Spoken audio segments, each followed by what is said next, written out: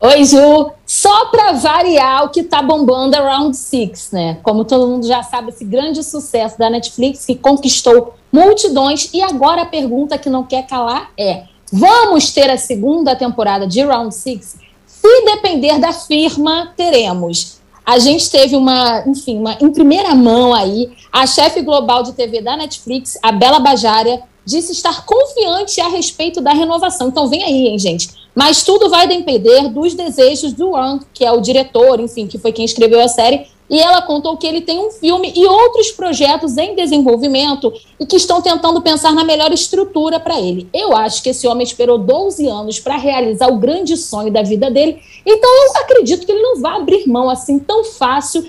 Teremos, até me engasguei, teremos mais temporadas e eu, se fosse ele, botava um monte de look naquela boneca, não dava mole. Então, você que assistiu a primeira temporada pode se preparar, porque depois de 12 anos de espera, gente, eu, se fosse ele, fazia 12 temporadas só para comparar, só pra, sabe, para não perder o time, ficava igual Friends.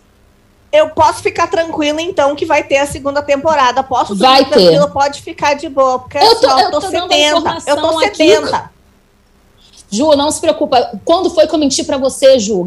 Poxa, Confia em mim, cara. Confia em mim. Você vai ter mais pesadelos ainda com aquela boneca. Tranquilo, tranquilo. Eu acho que ele tá com a faca e queijo na mão, minha gente. Ele não pode perder essa oportunidade. Certo ele tá de explorar o tanto quanto puder. Esperamos uma segunda temporada tão babadeira quanto essa, não é? Isso, vem aí.